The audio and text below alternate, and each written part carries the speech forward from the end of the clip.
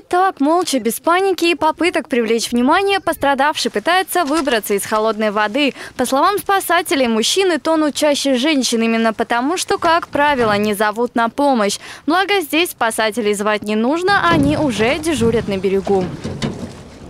Пострадавший, он же сотрудник Центра гражданской защиты в безопасности, но работа спасателей не заканчивается. По сценарию учений еще один человек утонул. Несмотря на то, что его поиском будет заниматься только один водолаз, для успешной операции нужна целая команда. Все, пошел.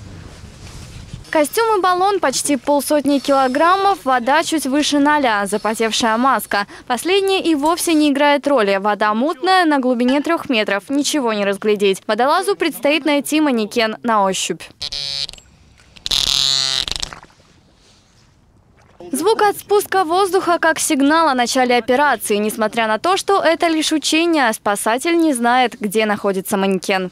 Всегда, когда мы выезжаем на поиск утонувшего, люди, которые находились с ним, или, возможно, даже он был один, то есть точно место не знают, но говорят примерно где-то здесь. Вот.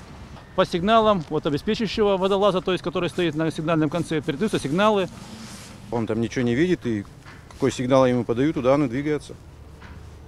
Существует порядка где-то 10-12 сигналов. Как себя чувствуешь? Один раз дернуть, три раза дернуть на выход сигнал. Через несколько минут тот самый сигнал от водолаза. Манекен общими усилиями вытащили на берег и в норматив вложились, несмотря на то, что погодные условия были не на стороне спасателей.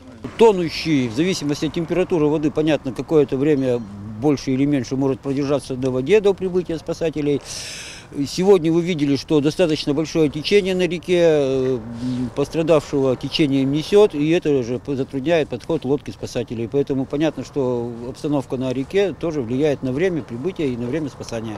Традиционные учения неспроста проводят именно сейчас, в преддверии зимы. В этом году предупреждающие знаки тоже установили заранее, не дожидаясь первого льда на реке. Будет установлено 15 анфлагов о запрете выхода на лед. По окончании действия запрета анфлаги будут демонтированы до весны.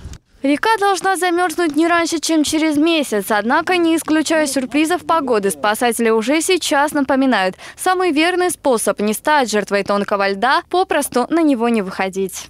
Чаще всего несчастье случается, когда у берега лед уже толстый, а в середине реки он еще не окреп. Например, в Вологде есть несколько мест, где лед подмывается постоянно. Например, в районе памятника 800-летия. А это значит, что здесь, по словам спасателей, провалиться можно даже в самые морозные дни.